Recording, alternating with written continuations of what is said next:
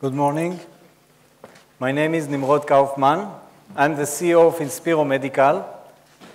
Did you know that every day in the United States, 44,000 people have asthma attack, and about 5,000 people visit the emergency room? Unfortunately, many of these people simply do not use their inhalers effectively. Inspiro Medical is developing an innovative dry powder inhaler that solves these problems. Dry powder inhalation is the most common treatment today for asthma and COPD in adults. Dry powder inhalers. These are the gold standard.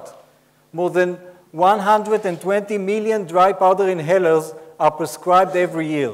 The market is huge. It's an $18 billion market with a growth rate of 12%. Still, the dry powder inhalers have few major drawbacks that result in failure to deliver the drug effectively to many patients' lungs. Dry powder inhalers require a forceful inhalation in order to deliver the drug effectively to the patient's lungs. Many patients who suffer from lung disease are unable to generate enough flow rate. They are not able to inhale forceful enough to deliver the drug effectively to their lungs. In addition, dry powder inhaler requires strict use technique. Many of the patients find it too difficult to follow the instructions that are required to use the device correctly. And compliance. Compliance is a major issue. Research showed that only one out of three patients keep using the device after three months maintenance. With this poor delivery system, everybody loses the physicians spend a lot of time treating uh, their patients without knowing if symptoms remain because the drug doesn't work or their patients are not using the device correctly.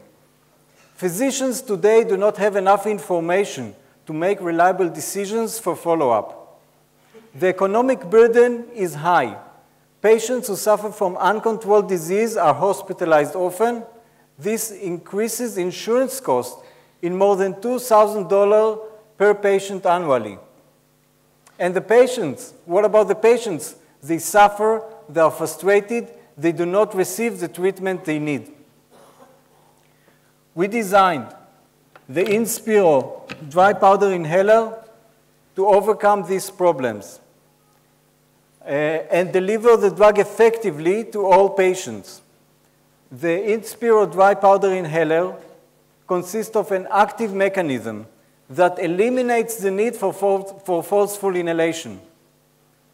Uh, in addition, the, the Inspiro inhaler consists of a real-time feedback interface that guides the patient in real time and assures proper use. For the, uh, in order to increase compliance, there's a built-in data logger it stores all the necessary data when the patient uses the device. The physician can access and review this data in order to make sure that the prescribed drug is taken and delivered successfully.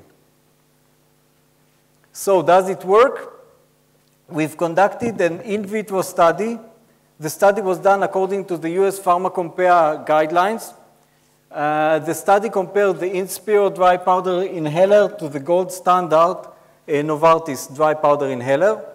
We used the same drug capsules in, uh, in both devices. Uh, this chart here shows how deep was the drug delivered into the, into the lung. Uh, this study clearly shows that the Inspiro inhaler delivered the drug more effectively to the deep lung. And this is not all. Even when we reduce the inhalation force by half still the Inspiro inhaler delivered the drug better. This study clearly proves that there is no need for forceful inhalation in, o- uh, in order to deliver the drug effectively with the Inspiro dry powder inhaler. Based on these excellent results, we received the Israeli uh, Ministry of Health approval for our first clinical trial this trial is uh, running these days here in Israel at Schneider Medical Center. 30 asthmatic uh, patients, 30 asthmatic children are using the Inspiro dry powder inhaler. Uh, all this is done in a double-blind, placebo-controlled crossover study. As I said at the beginning, the market is huge. Here you can see the top three uh, products uh, for asthma and COPD in the market today, with a total uh, annual sales of $14 billion. Our device can be used to deliver this type of formulations better, as well as uh, other uh, indications like cystic fibrosis and more. We seek $1.2 million for our device development and to conduct more clinical trials. Thank you very much. I'll be happy to uh, meet you after this session and uh, discuss more about this exciting product. Okay, thank you, Nimrod.